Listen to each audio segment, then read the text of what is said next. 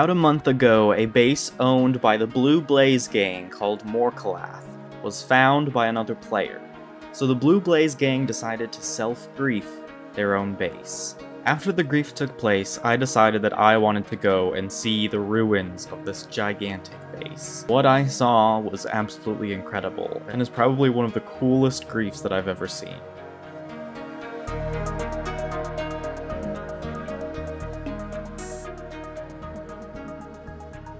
Mean, you can see, of course, the place is almost unrecognizable. There was a big, like, Eye of Sauron type thing on the very top.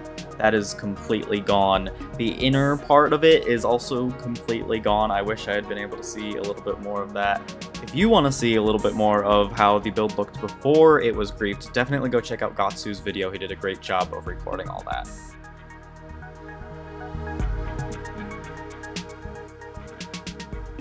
And in addition to the main tower, there was also a village along with like another obsidian, crying obsidian castle thing, which looked really cool even when destroyed.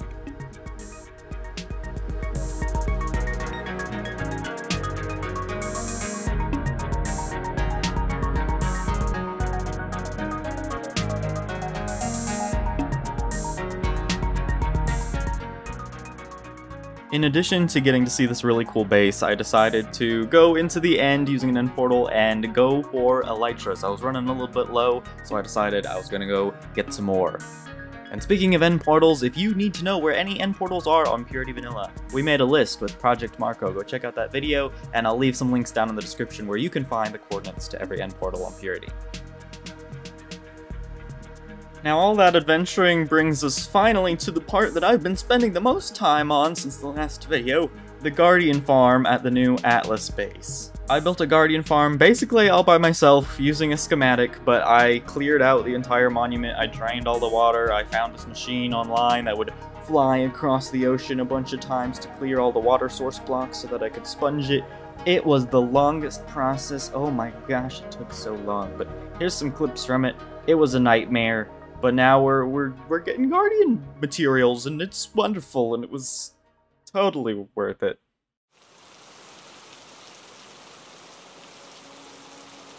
And finally, bringing us up to date, I decided to go back to the ruins of the mayor's base, where I was working on building a giant tree. I don't think I really showed it very much in the, the episodes, so I don't know how much you guys have actually seen of it. But here are the ruins, and first what I wanted to do is gather materials for a box of redstone supplies that I've been wanting to make for a long time. So I used some of the, the pistons and the observers from the old farms and gathered those up. I also had a stash remnant there that I needed to move to a different location.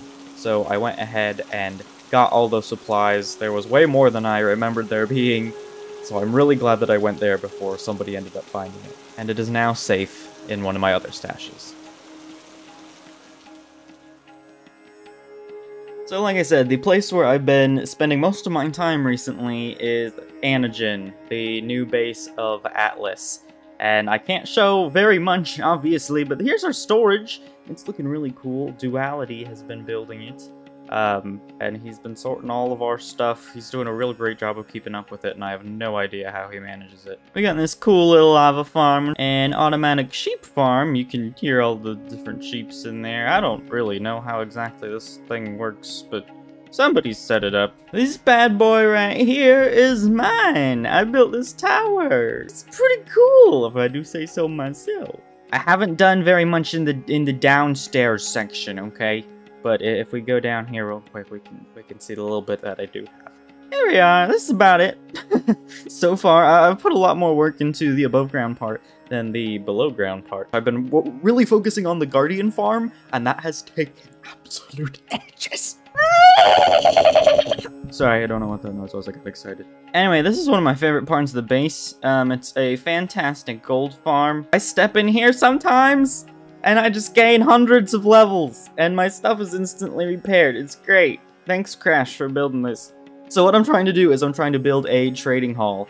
Um, I'm trying to branch it off in different directions, because I love how, like, the deep dark and everything looks, and how, like, creepy this place looks. So I kind of want to build a, a trading hall like that, because I think that's really unique and different.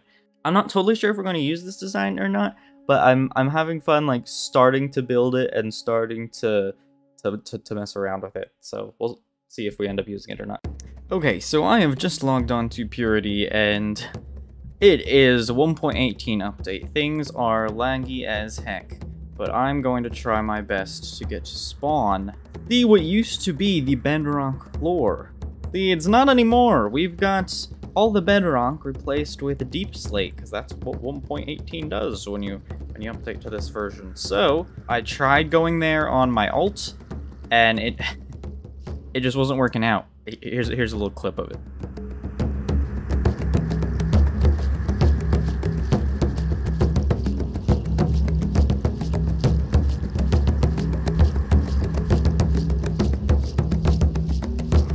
We'll just get pretty close to nether side. Oh gosh. If I die in the nether just traveling there, that'd be so sad. Oh, the chunk loading is taking a really long time right now because everybody's generating these new chunks. Everybody's changing over the old chunks to 1.18 as they load them, and it's a bit of a mess right now. You can see I'm basically x-raying. I want to go far enough that uh, there's the bedrock floor. So this used to be the bedrock floor. You can see it's all deep slate now. I wonder how this is going to change spawn, because I have a feeling, you know, the PvPers and, and the, the spawn griefers and, oh, the anti-X-ray. Oh, we're loading so well. I have a feeling the PvPers and the, and the griefers and everything are going to want to destroy this, this, this bit here. Look at this. This is below spawn right now. Oh, look at that deep slate diamond ore right below spawn. Yeah, I want to go right to zero zero, man. Holy heck! Holy heck! Look at how many red skulls. More deep slate diamonds, yes. The spawn diamonds. I kind of want to keep these.